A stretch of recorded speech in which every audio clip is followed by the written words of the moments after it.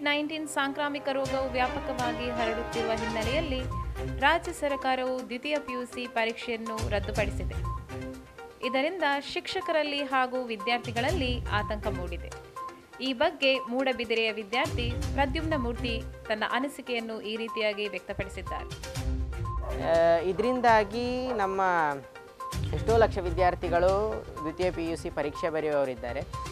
ಆದರೆ ನಮಗೆ next cancel ಆಗಿದೆ, ಆದರೆ ನೆಕ್ಸ್ಟ್ ಎಂಥದಕ್ಕೆ ಏನು ಮಾಡುವುದು ಅಂತ ಹೇಳಿ ತುಂಬ ಕಷ್ಟ ಆಗ್ತಿದೆ. ಯಾಕಂತ ಹೇಳಿದರೆ ಯಾವತ್ತಿಗೂ ಸೆಕೆಂಡ್ ಪಿ ಯು ಸಿ ಪರೀಕ್ಷೆ ರದ್ದಾದದ್ದು ತುಂಬ ನಮಗೆ ಮೋಸ ಆಗಿದೆ. ಕ್ಯಾನ್ಸಲ್ ಆದದ್ದು ತುಂಬ ಮೋಸ ಆಗಿದೆ. ಯಾಕೆ ಅಂತ ಹೇಳಿದರೆ ಈಗ ದ್ವಿತೀಯ ಪಿ ಯು ಸಿ ಪರೀಕ್ಷೆಗೆ ನಮಗೆ ಹೇಗೆ ಗ್ರೇಡ್ ಕೊಡ್ತಾರೆ ಅಂತ ಹೇಳಿದರೆ ಎರಡು ವಿಧ ಇದೆ. ಒಂದ ನಾವು ಫಸ್ಟ್ ಪಿ ಯು ಸಿಯಲ್ಲಿ ಎಷ್ಟು ಪರ್ಸೆಂಟೇಜ್ ಬಂದಿದೆ? ಅದೇ ಪರ್ಸೆಂಟೇಜನ್ನು ನಮಗೆ ಸೆಕೆಂಡ್ ಪಿ ಯು ಸಿಗೆ ಕೊಟ್ಟು ಬಿಡ್ತಾರೆ. ಅಥವಾ ಟೆಂತಿನಲ್ಲಿ ಮತ್ತೆ ಫಸ್ಟ್ ಪಿ ಯು ಸಿಯಲ್ಲಿ ಎಷ್ಟು ಮಾರ್ಕ್ ಬಂದಿದೆ ಅದನ್ನು ಸಮ್ಮರ್ಜ್ ಮಾಡಿ ನಮಗೆ ಅದರ ಗ್ರೇಡನ್ನು ಕೊಟ್ಟು ಬಿಡ್ತಾರೆ. ಹೀಗೆ ಮಾಡಿದರೆ ಯಾವತ್ತೂ ಕೂಡ ಪಿ ಯು ಸಿ ಯಲ್ಲಿ ನಾವು ಮಾರ್ಕನ್ನು ನೋಡಿದರೆ ಫಸ್ಟ್ ಪಿ ಯು ಸಿಯಲ್ಲಿ ಸೆವೆಂಟಿ ಪರ್ಸೆಂಟ್ ಮಾರ್ಕ್ ತೆಗೆದವರು ಕೂಡ ಸೆಕೆಂಡ್ ಪಿ ಯು ಸಿಯಲ್ಲಿ ನೈಂಟಿ ಪರ್ಸೆಂಟ್ ಎಬೋ ತೆಗಿಬೋದು. ಅಷ್ಟು ಸುಲಭ ಇದೆ second P U C first P U ಸಿಗೆ ನೋಡಿದರೆ. ಫಸ್ಟ್ ಪಿ ಯು ಸಿಯಲ್ಲಿ ಯಾವತ್ತೂ ಸಿಲೆಬಸ್ ಸ್ವಲ್ಪ ಕಷ್ಟ ಆದ ಕಾರಣ ಮಾರ್ಕ್ಸ್ ಕಮ್ಮಿ ಬರ್ತದೆ.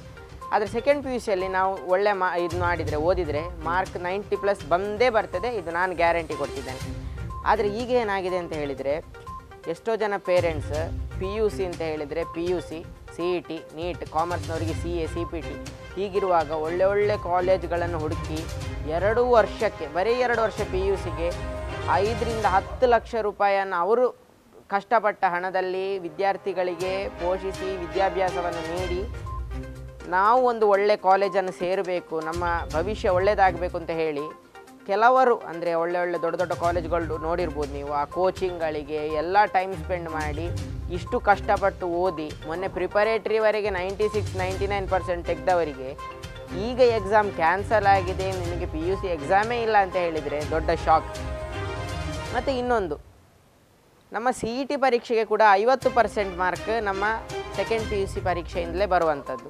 ಆದರೆ ಅದನ್ನು ಏನು ಮಾಡ್ತಾರೆ ಅಂತ ಹೇಳಿ ಮಾನ್ಯ ಸಚಿವರು ತಿಳಿಸಲಿಲ್ಲ. ಮತ್ತು ಇನ್ನೊಂದು ಏನು ಅಂತ ಹೇಳಿದರೆ ಎಸ್ ಎಲ್ ಸಿ ಪರೀಕ್ಷೆಯನ್ನು ಎರಡೇ ದಿವಸದಲ್ಲಿ ಮಾಡಿ ಮುಗಿಸ್ತಾರೆ. ಆದರೆ ನಮ್ಮದನ್ನು ರದ್ದು ಮಾಡಿದ ಯಾಕೆ ಅಂತ ಹೇಳಿದರೆ ಕನಿಷ್ಠ ಪಕ್ಷ ಪಿ ಯು ಸಿ ಪರೀಕ್ಷೆ ಮಾಡಬೇಕು ಅಂತ ಹೇಳಿದರೆ ಹನ್ನೆರಡು ದಿನದ ಕಾಲಾವಕಾಶ ಬೇಕಾಗ್ತದೆ. ಆದರೆ ಮೂರನೇ ಅಲೆಯ ಹೆದರಿಕೆಯಿಂದಾಗಿ ನಮ್ಮ ಹನ್ನೆರಡು ದಿವಸಗಳು ಕೂಡ ಹೆಚ್ಚಾಯಿತು. ಅಂದರೆ ಪರೀಕ್ಷೆ ಮಾಡಲಿಕ್ಕೆ ಕಷ್ಟ ಆಗ್ತದೆ ಅಂತೇಳಿ ರದ್ದು ಮಾಡಿದ್ದಾರೆ. ಒಂದು ಪ್ರಾಕ್ಟಿಕಲ್ ಆಗಿ ಥಿಂಕ್ ಮಾಡೋದು ಅಂತ ಹೇಳಿದರೆ ಪಿ ಯು ಸಿ ಆದ ನಂತರ ಒಬ್ಬ ವಿದ್ಯಾರ್ಥಿ ಅವನಿಗೆ ಕರೆಕ್ಟ್ ಅವನ ಮಾರ್ಕ್ಸ್ ಪರ್ಸೆಂಟೇಜನ್ನು ನೋಡಿ ಥಿಂಕ್ ಮಾಡ್ತಾನೆ. ಅವನು ಮೆಡಿಕಲ್ ಓದ್ಬೋದಾ ಇಂಜಿನಿಯರಿಂಗ್ ಓದ್ಬೋದಾ ಪ್ಯೂರ್ ಸೈನ್ಸ್ ಓದ್ಬೋದಾ ಕಾಮರ್ಸ್ನಲ್ಲಿ ಓದ್ಬೋದಾ ಆರ್ಟ್ಸ್ ಓದ್ಬೋದಾ ಲಾ ಓದ್ಬೋದಾ ಅಂತೇಳಿ ಅವನಿಗೆ ಅವನ ಪರ್ಸೆಂಟೇಜ್ ನೋಡಿ ಗೊತ್ತಾಗ್ತದೆ. ಆ ಪರ್ಸೆಂಟೇಜನ್ನು ನೋಡಿ ನಾವೀಗೊಬ್ಬ ಇಂಜಿನಿಯರಿಂಗ್ ಮಾಡಿದ ಅಂತ ಹೇಳಿದರೆ ಇಂಜಿನಿಯರಿಂಗ್ ನಾಲ್ಕು ವರ್ಷ. ಅದೇ ಬಿ ಎಸ್ ಸಿ ಮಾಡಿದ ಬಿ ಕಾಮ್ ಮಾಡಿದ ಅಂತ ಹೇಳಿದರೆ ಅಂಡರ್ ಗ್ರ್ಯಾಜುಯೇಷನ್ ಮೂರು ವರ್ಷ ಪೋಸ್ಟ್ ಗ್ರ್ಯಾಜುಯೇಷನ್ ಎರಡು ವರ್ಷ. ಈ ಐದು ವರ್ಷ ಮುಗಿದು ಮತ್ತು ಇಂಜಿನಿಯರಿಂಗಿನಲ್ಲಿ ನಾಲ್ಕು ವರ್ಷ ಮುಗಿದ್ರೂ ಕೂಡ ನಾವು ಕೊರೋನಾ ಬ್ಯಾಚ್ ಆದ ಕಾರಣ ನಮಗೆ ಮಿನಿಮಮ್ ಸ್ಯಾಲ್ರಿ ಕೂಡ ಈ ಐದು ವರ್ಷ ಆಗಲಿ, ನಾಲ್ಕು ವರ್ಷ ಆಗಲಿ ಏಯ್ಟ್ ತೌಸಂಡಿಂದಲೇ ಸ್ಟಾರ್ಟ್ ಆಗ್ಬೋದು. ಸ್ಯಾಲ್ರಿ ಪ್ರಾಬ್ಲಮ್ ಆಗ್ತದೆ ನೆಕ್ಸ್ಟ್ ವಿದ್ಯಾರ್ಥಿಗಳಿಗೆ. ಯಾಕಂತ ಹೇಳಿದರೆ ಇದು ಕೋವಿಡ್ ಬ್ಯಾಚ್ ಜಾಬ್ ಪ್ರಾಬ್ಲಮ್ ಆಗ್ತದೆ. ಮತ್ತು ಇನ್ನೊಂದು ನಮ್ಮ ಈಗಿನ ಟ್ರೆಂಡ್ ಏನಂತ ಹೇಳಿದರೆ ಎರಡು ರೀತಿ. ಒಂದು ಪ್ಯೂರ್ ನಮ್ಮ ಸೈನ್ಸ್ ಸ್ಟ್ರೀಮಲ್ಲಿ ಹೇಳೋದು ಅಂತ ಹೇಳಿದರೆ, ಒಂದು ಪ್ಯೂರ್ ಸೈನ್ಸ್ ಒಂದು ಪ್ರೊಫೆಷ್ನಲ್ ಸೈನ್ಸ್ ಈ ಪ್ರೊಫೆಷ್ನಲ್ ಸೈನ್ಸಲ್ಲಿ ಫೊರೆನ್ಸಿಕ್ ಸೈನ್ಸ್ ಹೀಗೆ ಹಲವಾರು ವೆಟರ್ನರಿ ಸೈನ್ಸ್ ಹಲವಾರು ಸ್ಟ್ರೀಮ್ಗಳು ಬರ್ತದೆ. ಈ ಇದು ಮಾಡೋದು ಅಂತ ಹೇಳಿದರೆ, ಈ ಫೊರೆನ್ಸಿಕ್ ಸೈನ್ಸ್ ಓದಿದರೆ ಮೇಯ್ನಾಗಿ ಪೊಲೀಸಲ್ಲಿ ಎಲ್ಲ ಜಾಬ್ ಆಗ್ತದೆ ಅವರಿಗೆ. ಪೊಲೀಸ್ ಫೋರ್ಸಲ್ಲಿ ಜಾಬ್ ಆಗ್ತದೆ. ಅದನ್ನು ಕಲ್ತು ಕೂಡ ಅಲ್ಲಿ ಪೊಲಿಟಿಕಲ್ ಪ್ರೆಷರ್ ಬೀಳ್ತದೆ ವಿದ್ಯಾರ್ಥಿಗಳಿಗೆ. ಪೊಲಿಟಿಕಲ್ ಪ್ರೆಷರ್ ಬಿದ್ದು ಕೂಡ ಜಾಬ್ ಪ್ರಾಬ್ಲಮ್ ಆಗ್ತದೆ. ಈಗ ಒಟ್ಟು ನಮಗೆ ಕೋವಿಡ್ ಬಂದು ಪಿ ಯು ಸಿಗೆ ತುಂಬ ನಮಗೆ ಕಷ್ಟ ಆಗಿದೆ. ಯಾಕಂತ ಹೇಳಿದರೆ ನನ್ನ ಒಬ್ಬರು ಫ್ರೆಂಡೇ ಒಬ್ಬರು ಹೇಳಿದರು.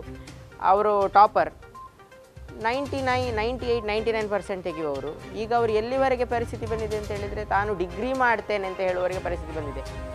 ಈಗ ಕೆಲವರೆಲ್ಲ ಅವರ ಇಡೀ ಲೈಫ್ ಟೈಮಿನಲ್ಲಿ ಮೇಯ್ನ್ ಸ್ಟೇಜ್ ಅಂತ ಹೇಳಿದರೆ P U C P U C ಆದಂದ್ರೆ ನೀವು ಏನು ಬೇಕಾದರೂ ಮಾಡಿ. P U C is your life deciding stage ಅದೇ ನಮಗೆ ಕ್ಯಾನ್ಸಲ್ ಆಗಿ ತುಂಬ ಕಷ್ಟ ಆಗಿದೆ. ಕೆಲವರಿಗೆ ಬೆನಿಫಿಟ್ ಆಗಿರ್ಬೋದು. ಯಾಕಂತ ಹೇಳಿದರೆ, ದಕ್ಷಿಣ ಕನ್ನಡದಲ್ಲಿ ಲಾಸ್ಟ್ ಇಯರ್ ನಮ್ಮ ಕ್ಲಾ ನಮ್ಮ ಪರೀಕ್ಷೆ ಮುಗ್ದ ನಂತರ ರಿಸಲ್ಟ್ ಬಂತು ಮೇ ತಿಂಗಳಲ್ಲಿ. ರಿಸಲ್ಟ್ ಬಂತು ನಮ್ಮ ಕ್ಲಾಸಲ್ಲಿ ಮೂರು ಜನ ಫೇಲ್ ಆಗಿದ್ದರು ನಮ್ಮ ಎಜುಕೇಷನ್ ಬೋರ್ಡನವರು ಏನು ಮಾಡಿದೆ ಅಂತ ಹೇಳಿದ್ರೆ ರೀ ಎಕ್ಸಾಮ್ ಮಾಡ್ತಾರೆ ಫೇಲ್ ಆದವರಿಗೆ. ರೀ ಎಕ್ಸಾಮ್ ಡಿಕ್ಲೇರ್ ಆದ ತಕ್ಷಣವೇ ಯಾವತ್ತು ಎಕ್ಸಾಮಿನೇಷನ್ ಸ್ಟಾರ್ಟ್ ಆಗಬೇಕಿತ್ತೋ, ಆಗ ಇನ್ನೊಂದು ಟರ್ಮಿನ ಲಾಕ್ಡೌನ್ ಸ್ಟಾರ್ಟ್ ಆಯಿತು. ಲಾಕ್ಡೌನ್ ಸ್ಟಾರ್ಟ್ ಆಯಿತು ಅಂತ ಹೇಳಿ ಫೇಲ್ ಆದ ವಿದ್ಯಾರ್ಥಿಗಳನ್ನು ಪಾಸ್ ಮಾಡಿ ದ್ವಿತೀಯ ಪಿ ಯು ಸಿ ಸೈನ್ಸಿಗೆ ಹಾಕಿಬಿಟ್ರು. ಯಾಕಂತ ಹೇಳಿದರೆ ಸೈನ್ಸಿನಲ್ಲಿ ಫೇಲ್ ಆದರೆ ಅವರನ್ನು ನೆಕ್ಸ್ಟ್ ಪಾಸ್ ಆದರೂ ಕೂಡ ಸೈನ್ಸಿಗೆ ಹಾಕೋದಿಲ್ಲ. ಅವರನ್ನು ತೆಗೆದು ಕಾಮರ್ಸಿಗೆ ಹಾಕ್ತಾರೆ. ಆದರೆ ಅವರನ್ನು ಸೈನ್ಸಿಗೆ ಹಾಕಿದರು. ಫೇಲ್ ಆದ ವಿದ್ಯಾರ್ಥಿಗಳು ಸೈನ್ಸಿಗೆ ಬಂದು ಈಗ ಪುನಃ ಅವರು ಸೆಕೆಂಡ್ ಪಿ ಯು ಸಿಯಲ್ಲಿ ಪಾಸ್ ಆದರು ಅಂತ ಹೇಳಿದರೆ ಏನು ಮಾಡೋದು? ಮತ್ತು ಆಲ್ಮೋಸ್ಟ್ ಒಂದು ಹೇಳಿಬಿಡ್ತೇನೆ. ಯಾರೇ ಸ್ಟೂಡೆಂಟ್ ಫೇಲ್ ಆಗಲಿ ಪಾಸ್ ಆಗಲಿ, ಈಗ ಒಂದು ನಾವು ತಿಳ್ಕೊಳ್ಬೇಕು. ಈಗ ಫೇಲ್ ಆದ ವಿದ್ಯಾರ್ಥಿಗೆ ಒಳ್ಳೆ ಅವನ ಎಕನಾಮಿಕ್ ಸ್ಟ್ರೆಂತ್ ಕರೆಕ್ಟ್ ಆಗಿದ್ದರೆ ಅವನು ಎಷ್ಟು, ಅವನ next education under graduation post ಗ್ರ್ಯಾಜುಯೇಷನ್ಗೆ ಒಳ್ಳೆ ಹಣ ಆಗ್ತಾ, ಒಳ್ಳೆ ಹಣ ಇದ್ದವಾಗಿದ್ದರೆ ಫೇಲ್ ಆದ ವಿದ್ಯಾರ್ಥಿ ಮೆಡಿಕಲ್ ಕಲ್ತ್ರೆ ನೆಕ್ಸ್ಟ್ ನಮ್ಮ ಪರಿಸ್ಥಿತಿ ಏನಾಗ್ತದೆ? ಒಬ್ಬ ಫೇಲ್ ಆದ ಸ್ಟೂಡೆಂಟ್ ಇಂಜಿನಿಯರಿಂಗ್ ಮಾಡಿದರೆ ನೆಕ್ಸ್ಟ್ ನಮ್ಮ ಸೈನ್ಸಿನ ಸ್ಟ್ರೀಮ್ ಏನಾಗ್ತದೆ? ವಿದ್ಯಾರ್ಥಿಗಳ ನೆಕ್ಸ್ಟ್ ನಮ್ಮ ಭವಿಷ್ಯ ಏನಾಗ್ತದೆ? ಫೇಲ್ ಆದವರಿಗೆ ಕೂಡ ಇಷ್ಟು ಮಾನ್ಯತೆ ಕೊಟ್ಟರೆ ನಮ್ಮ ನೆಕ್ಸ್ಟ್ ಭವಿಷ್ಯ ಏನಾಗ್ತದೆ? ಯಾಕಂತ ಹೇಳಿದರೆ ಇಡೀ ದೇಶದಲ್ಲಿ ಯಾರು ಎಷ್ಟೇ ಇದು ಮಾಡಲಿ ಹೈಯೆಸ್ಟ್ ಇಂಜಿನಿಯರಿಂಗ್ ಪ್ರೊಡಕ್ ಇಂಜಿನಿಯರ್ಸನ್ನು ಪ್ರೊಡ್ಯೂಸ್ ಮಾಡುವ ದೇಶ, ಅಂದರೆ ಅವರನ್ನು ಎಕ್ವಿಪ್ ಮಾಡುವ ದೇಶ ಭಾರತವೇ. ಭಾರತದಿಂದಲೇ ಅತಿ ಹೆಚ್ಚು. ನಾಸಾದಲ್ಲಿ ಕೆಲಸ ಮಾಡುವವರು ಇರ್ಬೋದು, ಇಸ್ರೋದಲ್ಲಿ ಕೆಲಸ ಮಾಡುವವರು ಇರ್ಬೋದು, ಎಲ್ಲ ಇಂಡಿಯನ್ ಸೈಂಟಿಸ್ಟ್ಗಳು ಇವರೆಲ್ಲ ಇರುವಾಗ ನಮಗೆ ಫುಲ್ ಜಾಬ್ ಪ್ರಾಬ್ಲಮ್ ಆಗ್ತದೆ. ಎಲ್ಲವೂ ಆಗಿ ನೆಕ್ಸ್ಟ್ ಏನಾಗ್ತದೆ ಅಂತ ಹೇಳಿದ್ರೆ, ಇನ್ನು ನೆಕ್ಸ್ಟ್ ಹೇಳ್ತೇನೆ. ಸೆಕೆಂಡ್ ಪಿ ಯು ಸಿಯಲ್ಲಿ ಎಲ್ಲರನ್ನು ಪಾಸ್ ಮಾಡಿದರು. ಎಲ್ಲ ಕಾಲೇಜ್ಗಳು ಅವರ ಪರ್ಸೆಂಟೇಜನ್ನು ನೋಡಿ ಅವರ ಕಾಲೇಜಿಗೆ ಡಿಗ್ರಿ ಕಾಲೇಜ್ನವ್ರು ತಗೊಳ್ತಾರೆ ಈಗ ಯಾರ ಪರ್ಸೆಂಟೇಜ್ ನೋಡೋ ಪರಿಸ್ಥಿತಿಯಲ್ಲೂ ಇಲ್ಲ.